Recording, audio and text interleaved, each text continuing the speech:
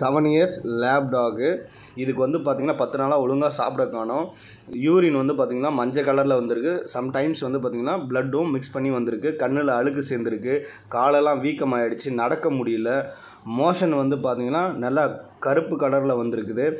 Vomit பண்ண ஆரம்பிச்சிருக்கு. நிறைய தண்ணி குடிச்சிருக்குது. ஒரு சில நேரங்களில் வந்து பார்த்திங்கன்னா தலையும் ஆட்டிகிட்டே இருந்திருக்குது. நம்ம எக்ஸாமினேஷன் பண்ணி பார்க்கும்போது கண்ணோட மியூக்கஸ் மெம்பரின்லாம் நல்லா வெள்ளை கலரில் மாறிடுச்சு. உடம்பு ஃபுல்லாகவே வெள்ளையாக மாறிடுச்சு. காலெல்லாம் வீக்கமாக இருந்துச்சு பின்னாடி மோஷன் போகிற இடம்லாம் கருப்பாயிடுச்சு.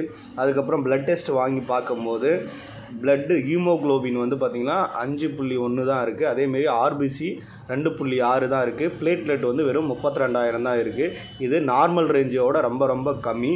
அது மட்டும் இல்லாமல் பிளட் யூரியா வந்து பார்த்திங்கன்னா நார்மலோட அதிகமாக அதாவது இரநூத்தி முப்பத்தி ரெண்டு இருக்குது அதே வந்து சீரம் கிரியாட்டின் வந்து பார்த்திங்கன்னா பதினாறு புள்ளி மூணு இருக்குது ஸோ இவ்வளோ அதிகமாக இருக்கிறது எதனால் அப்படின்னா ரீனல் ஃபெயிலியர் அதாவது கிட்னி ஃபெயிலியர் தான் இந்த மாதிரி அதிகமான அளவு இருக்கும்.